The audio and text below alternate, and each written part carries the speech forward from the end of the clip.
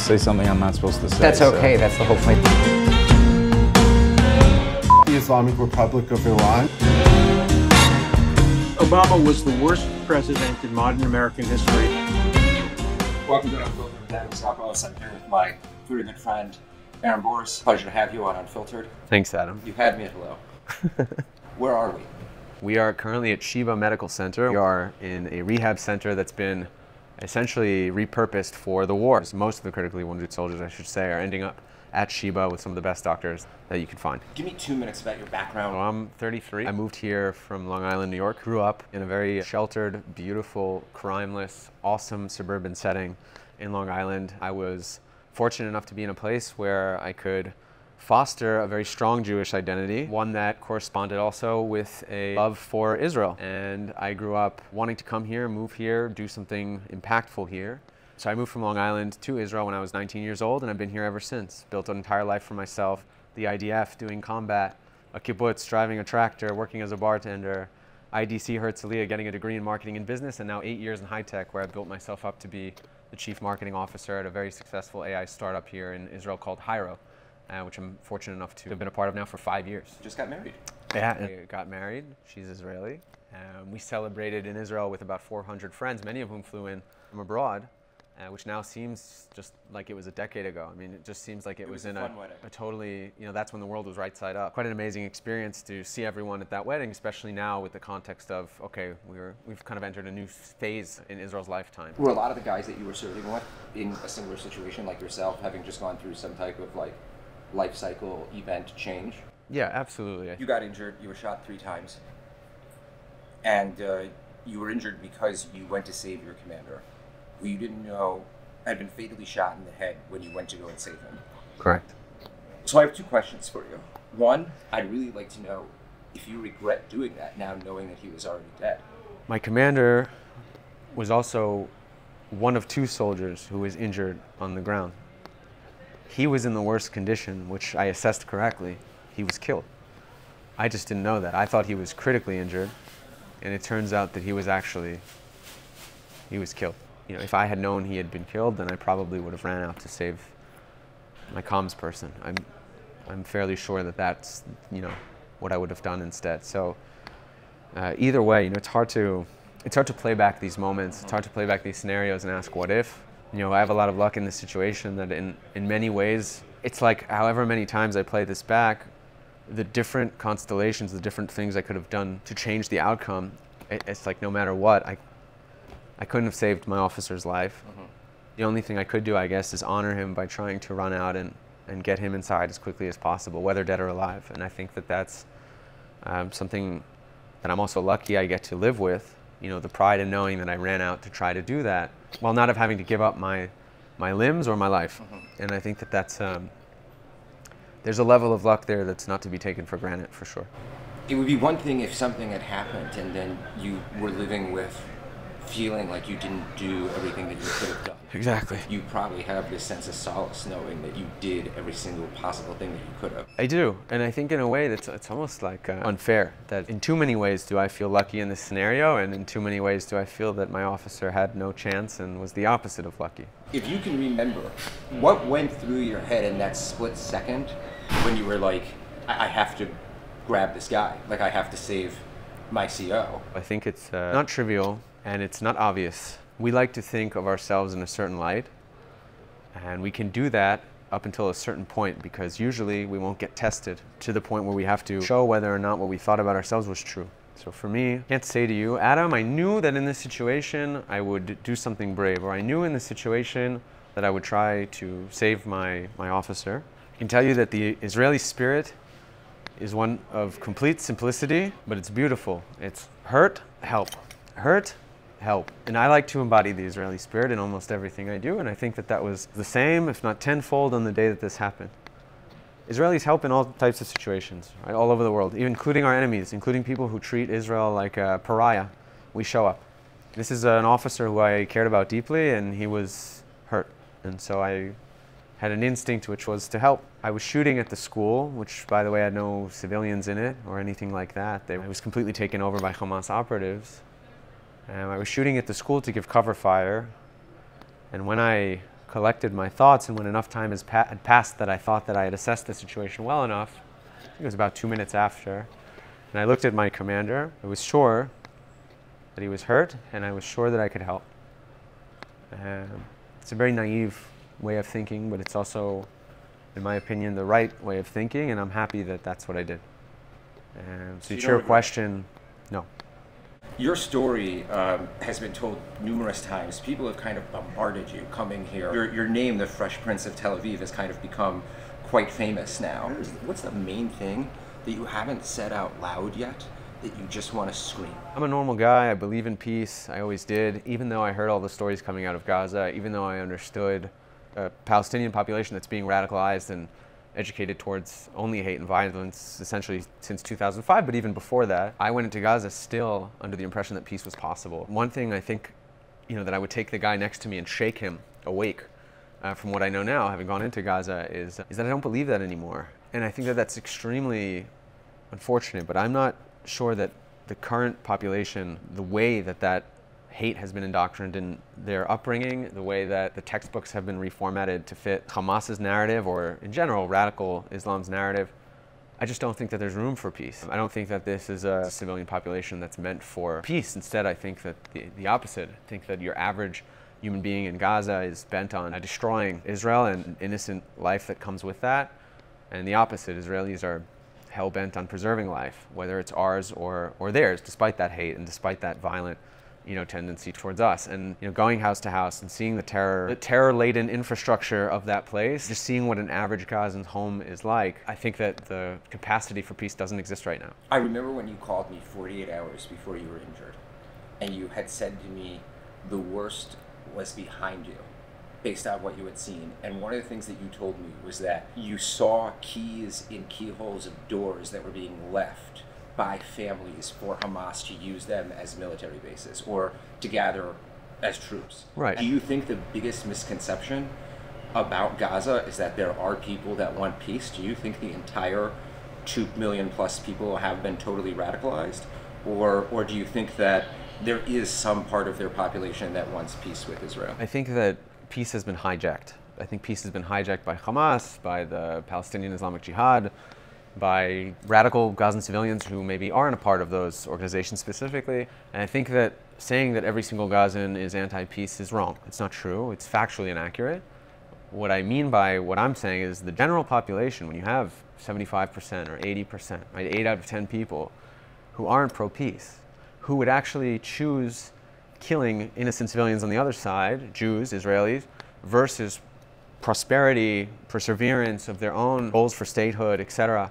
When you have those choices being made by the majority of the population, it's very difficult to imagine that the minority is somehow in a place where peace can be upheld or peace can be uh, the overall goal of the Palestinian people. It's an unfortunate situation where I think that those who do understand that uh, peace is how Palestinians will, will find prosperity, not war with Israel or acts of terror against Israeli civilians, while there may be that minority, they're going to be outnumbered and surely outvoiced by, by those that By feel differently and those who are championing what was one of the most you know heinous acts in the history of the Jewish people's timeline, which was October 7th. Seeing all of that firsthand, like you said, being shot at out of an UNRWA school, absolutely. But it's more going house to house, being in about 20 different houses, I want to say, in my time in Gaza, and seeing that 19 of those houses in some way were connected to terrorism. So keys in the door is one thing, munitions in children's closets, You told me right, is another thing. house that was built as an entryway for a tunnel. Yeah, right. Like so, A when you- decoy, right? essentially. a, decoy, a house that was Right, a decoy. valuable resources So- that should go so to we- an impoverished population, but instead it's being used to prop up terror, and that's time and time again where the resources are going, right? So in That's- short, you're saying that most of the things that are considered off limits by the UN and by international law were being hijacked by the enemy regularly. Absolutely. So then, why do you think there's this huge misconception by such a large body of people that, you know, the Israeli Army One is this elite fighting killing machine not made of, uh, you know, uh, reservists who are not everyday soldiers, you know, who served once when they were younger but then go back for training every so often. I mean, when was the last time you trained? I think it's important to kind of, even before answering that question, just talk a little bit about, about wh- what the hell is the reserves, right? We talk about Miluim, we talk about the reserves, and I think for uh, people who live abroad who don't really know the IDF too well, uh, the concept's a little bit foreign to them. So when we talk about the reserves, it's not like uh, the U.S. Army reserves where you know um, th- this is a person's career and they go on tours, and um, this is an army of normal average Joes. Okay, this is an army of your your you know totally average civilians who are uh, trying to live day-to-day you know existence. They're not focused on combat. Their uh, careers are not built around you know training and, and uh, missions and things like that. Of course, you have the elite special forces the like world's that. perception of the IDF is the exact opposite? Absolutely. I think the world's perception of the IDF to those who are less knowledgeable about the situation here, and unfortunately who are some of like the TikTok educated folks out there, um, which you know I don't actually blame some of them. It's like uh, you know for us learning about something in a very foreign country that doesn't affect us uh, deep down, and these are people who look at the IDF and the people in it uh, like we're bred for some kind of conquest. Like we're bred for some kind of, you know, uh, idiots like Shaun King will call us the, the Israeli occupation forces. It's more than just Shaun. It's it's it's probably every single Hollywood leftist that's out in the world today. You have John Cusack who's constantly calling you guys baby killers. There's a, there's a lot of misinformed people. I want to go Right. back though just for a second. So we, as reservists, are meant to train at least once every year. uh-huh. Now they've broken it down so that we actually do shorter trainings, but they're more accurate towards the idea of So what future missions would be. Before this war, when was the last time you, you went in for any type of training? How long had it been? Personally, the last time I had faced combat or trained either of those things was two and a half years before October 7th. So you, you went in without two years of any type of updating in your training or That's- anything like that. That's correct. I would assume that most people really do not even consider that to be necessarily even safe, let alone it's completely the opposite of what many people would assume the Israeli army is. So you can make the argument that right, it's uh, it's less than ideal. My point is, Uh, that you're not some born and bred killer, and that you're an average, everyday guy looking to live his life. it's really your average Joe. So it's a cousin, a brother, a son, a this, or that. It's a farmer. It's an engineer at uh, at Intel. It's a salesperson from a telecom company. It's a teacher from a preschool. I mean, we're talking about people who are in combat because they have to be, not because they necessarily want to be. They're in combat and they're brave, but they're brave by necessity, not necessarily by choice. Do you see what I'm saying? It's a survivalist nation. I think that people look at the IDF and think that because the Palestinians have been through, you know, such hard times, or that they don't have their own infrastructure and their own uh, sophisticated military and their own defense systems, they're automatically painted as the underdog, and by extension, the IDF is then painted as the bully. And this is nonsense. We're not the bully. We prioritize defense. They prioritize terror. We prioritize the buildup of a military that can stand on the borders and defend the country when called upon. Right? But it doesn't mean that your average reservist is, I don't know, bred for war or seeking war or the opposite, quite the opposite. Most Israelis don't want this at all. Most Israelis I want to be home that- with their families, growing their families, protecting, you know, what is uh, uh, their own prosperity, right? Their own careers, their own growth. I mean, these are the things that people are trying to get back to now. People have been stripped away from what they know and forced to go into Gaza, my friends included, myself included, to fight because Hamas has lured us into this war, having committed the atrocities that they did on October 7th, having kidnapped as many people as they did on October 7th, and God knows what fate awaits those that are still trapped in Gaza. worked with somebody that had four people that were taken hostage, Abby Owen, who runs the Nouveau Correct. group. And um, I want to know, as somebody that was in the fighting and, and, and lived it, do you think any of the hostage deals have been detrimental to the fighting or to the progress of the war or, or possibly put soldiers in harm's way? Do you think like maybe some things could have been done differently? I'm not looking for a, you support this, you support Yeah. that. I'm more concerned with like, do you think the campaign has moved forward to get them back? Do you think that things could have been done a little differently? It's un- unfair for me to even answer that based on the fact that these are real people, real families, brothers, cousins, moms, fathers who are getting their family members back, their loved ones back. And I do believe that those deals were necessary. What was, like, the Mind you. I believe that as a normal, grounded, average human being. As a soldier, of course, those deals were detrimental to what was going on in the ground operation. Interesting. I was here in this medical center, biting my nails, you know, going crazy, metaphorically speaking, just, f***ing, you know, I- was ape shit, you know, thinking about our guys, our soldiers, stuck in a holding pattern in a place where now there are Gazan men moving freely, dressed as civilians, clearly not, in the north of Gaza, closing on our position. If you're looking at it from a military perspective, the hostage deals are not advantageous to a good ground campaign whatsoever. So However, as a, no, but as a soldier, you're saying that Israel was basically putting soldiers in harm's way in order to get the hostages back because that's how important it was. absolutely. What prompted us to go into Gaza in the first place? Exactly. The mission was very clear. There are a few bullets in, you- in the mission get- do you detail. Destroy the terrorist infrastructure, oust Hamas, find hostages. I mean, it's really just three bullet points, right? And I think that we would have gone in anyway. Okay. Because even the, the trail of dead that was left in Israel is a catastrophic loss. So Mm-hmm. even without hostages, I think we needed to go into Gaza and neutralize a threat, which is Hamas. If you don't, all you do is empower them to believe that they could and should and would, et cetera, do it again. So of course, I think that it was necessary to go in regardless, based on the weight of the massacre that occurred on October 7th. Remember, in 2014, Operation Protective Edge, which I was also a reservist in, Operation Protective Edge was, was because of three boys who were kidnapped and killed. You know, if we talk about the weight of, uh, of numbers, of course, versus 1,200. not that their lives are any in any way uh, trivialized by what I'm saying, but I mean that if you just look at it by weight of numbers, then yes, like a thousandfold, we should have gone into Gaza. So being an American Israeli, I grew up in the United States for September 11th. So I was in the United States for September Where, 11th. where were you in, on September 11th? It's such a everyone knows where they were, right? I was in um, Spanish class. I was in the sixth grade, and um, and I was pulled out of class because my dad worked in New York City, and he could see smoke from his building too. Um, and we were all sent home at some point during that day. Where were you, I September was 11th? in ninth grade, Mr. Miller's history class, sitting next to Shana Smilowitz. Nice. And wow, Sep- we've, we've lived through both September 11th and October 7th, which is crazy. Right in both you- countries, in as countries. both as a citizen. and both as Americans that immigrated to Israel. the values that are protected by America, in my opinion, are similar values to what we protect in Israel, except that in Israel it's exacerbated by the fact that our neighbors want to all kill us. And in Israel, we're actually a survivalist nation, where in the US, it's less of a survivalist nation. So if terrorism roamed the earth right freely, the U.S. would, would be affected by it, but still, it's not a country that's going to, you know, completely um, uh, implode. Um, it's not like Mexico and Canada are going to invade the U.S.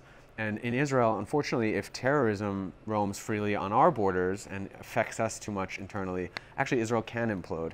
Um, and that's, of course, what the Arab world would love to see. Despite all of the conspiracy theories and nonsense that's come out since September 11th, if you believe that Al Qaeda was responsible for blowing up the Twin Towers, and you believe that Al Qaeda is a symptom of horrible radicalization of Islam and terrorism at large, then you should be against radicalization of Islam and terrorism at large, which means you should be against Hamas and most of the villains that are in Israel's current uh, uh, state of affairs, Hezbollah, for instance, now the Houthis. The fact that Americans would support those organizations blows my mind, having again been an American living through September 11th. D- Don't you think it's, And, it's, uh, it's not really Americans? It's, it's really people that are younger than us that didn't live through these things, that never had to experience it. It, it was 20 years ago. It's not that wild to ask a question of where the hell is the proper education of the younger generation to understand the difference between right and wrong, freedom and uh, oppression of freedom, which is what radical Islam entails and what terrorism essentially is, is a part of. Right? How has America not maintained its own narrative? Some of the pitfalls of being such a strong democracy and such a, a beacon of freedom is that essentially you have to leave it for America to self correct. Uh, powers that be, the enemies of the United States, that are very much keeping their populations in check, and you have the United States that's susceptible, unfortunately, to corruption. Uh, I believe that self correction will happen. I believe that equilibrium exists. I think that freedom is better than anything at all, and that the United States will find its way again. The fact that Russia and, and China are selling weapons to Hamas doesn't surprise me in the slightest because Israel is America's greatest ally in the Middle East, and any destabilization of Israel is a celebration for Russia and China and Iran and this, this new axis of evil forming. Th- This is a win for them. It's better for them that Israel is weakened. It's better for them that America looks weak backing Israel. All of these things are true. Except both of those countries hate radical Islam. Unless they can Right. wield it for themselves until they don't Where did you go to want it anymore. We're kind of hitting on what what you're saying about China and Russia wanting to weaken America through Israel, and you see how the next generation that's 20 years younger than us, 15 years younger, 10 years younger, who are all in school right now, are mostly siding with the radicals, if you saw what happened, I think it was at Rutgers the other day. Two kids came out, a full freedom fighter outfit, Hamas freedom fighter outfit, wearing a keffiyeh as a mask. I mean, making basically what looked like a terrorist statement about how things should be taken care of on campus and the fact that somebody was called out for, I think, releasing the name of a student leader of the Students for Justice in Palestine. Lucky they didn't do that in Arkansas. They would have been shot in the head. that's my point. Like, don't do you not see like this? Ra- I mean, like, for you at this age, and like, you know, you're married, you're obviously gonna want to have kids soon. Like, this is like these are your future children's contemporaries. How frightening is that? Yeah. I think that it all goes back to an ideology that has spread its ugly head in the last four years, maybe. Oppressor versus oppressed ideology. That doesn't Uh, work. It doesn't work. It's a simplistic ideology that you can shove. Uh, it's similar to what we talked about the underdog versus the bully, right? But the oppressor versus oppressed ideology essentially claims that all forms of resistance are permissible uh, if someone has been in some way bullied or marginalized or had crimes against them committed, right? It, it doesn't matter the timeline. It's like oppressed, so resist. And the oppressor is the bad guy. So colonizers are oppressors. The United States is now, right? The United States is, of course, a, a colonizer. The big Um, devil. the big devil supports colonizers. Funny, to them, and they're this, the, the head of the snake, and to us, Iran is the head of the snake. Right. It's it's it's. Very, so you have a but you have a younger generation that is growing up believing that the United States does so much wrong that the country itself is to not, is not to be believed, and the people who perpetrate terrorist acts against the United States are in fact freedom fighters versus our own soldiers, U.S. military soldiers who are in fact seeking to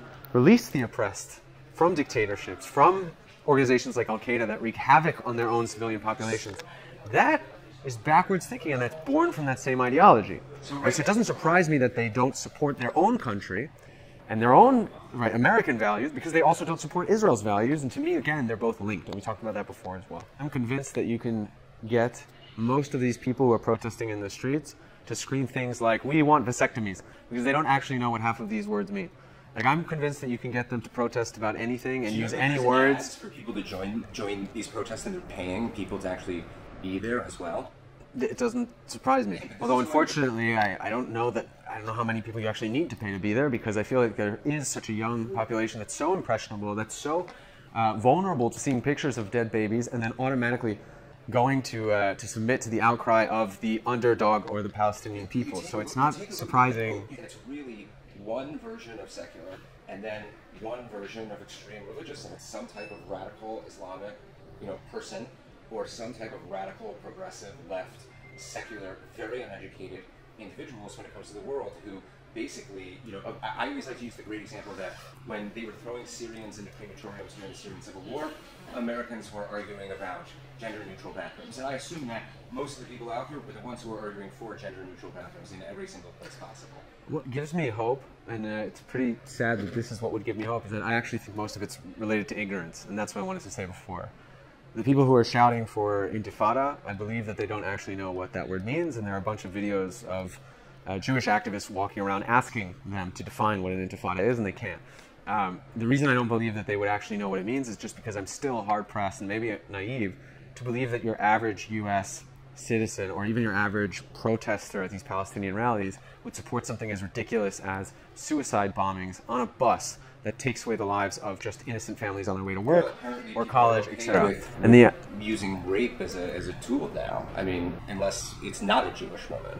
I, I mean, like it's their their value system. the, the extremists in those ranks, absolutely, they are they're the extremists in those ranks. Anymore. There are two things that really mirror what happened right before World War II. One, the dehumanization of the international Jew.